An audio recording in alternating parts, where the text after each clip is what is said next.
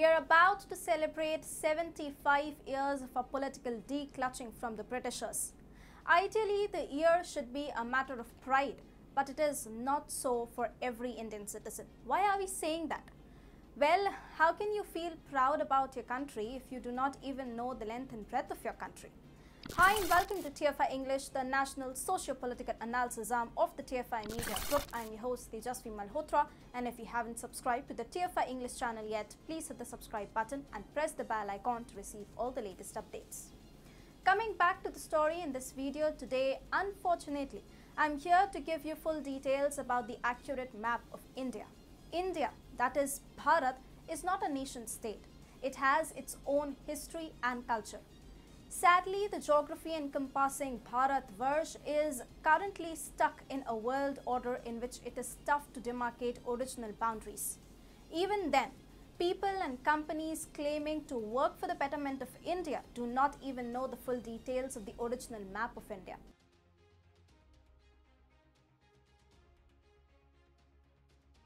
India's map is again in news.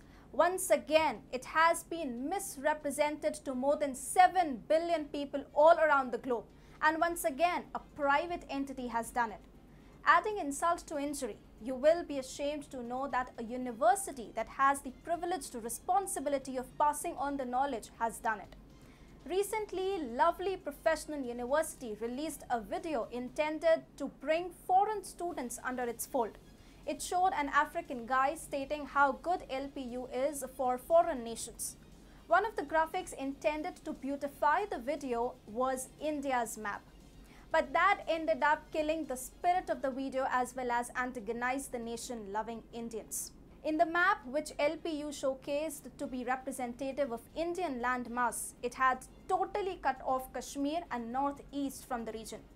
Sadly, whole world saw it and the message sent out was that India has accepted respective claims of Pakistan and China on Kashmir and northeast respectively.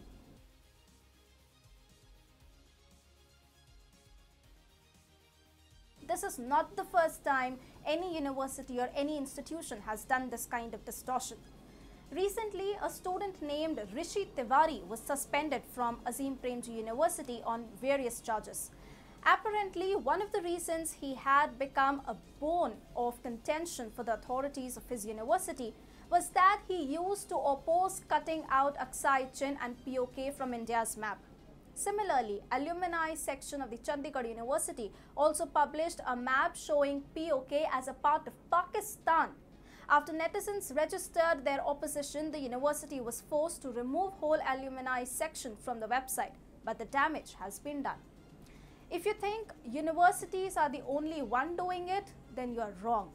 Even companies like Twitter and supranational organizations like WHO have also done it in the past. The phenomena was fueled by none other than Mr. Rahul Gandhi. In one tweet, he had sent a message to China that India had accepted its suzerainty on its territory.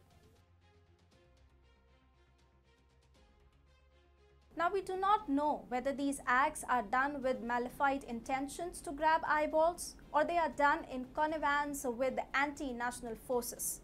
Another reason behind the depiction of a wrong map of India could be that these institutions and politicians do not actually know India's length and breadth. Here are the details. India's official map is published by Survey of India. It is India's central engineering agency in charge of mapping and surveying. It works under the ambit of Ministry of Science and Technology.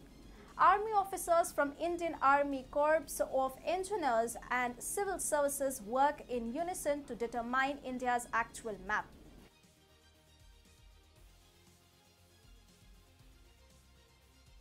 Current Indian map is available on its website. For your convenience, we are showcasing it here. With the upper north part of our map, the area which is Pakistan occupied Kashmir for the rest of the world is under India's territorial jurisdiction.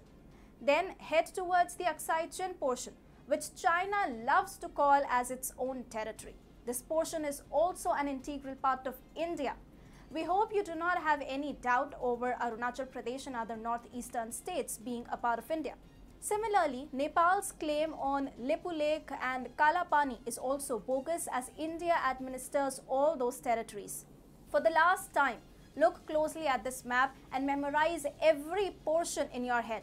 Aksai Chin, POK, Lipulekh, Kalapani, Arunachal and other northeastern states are all parts of India.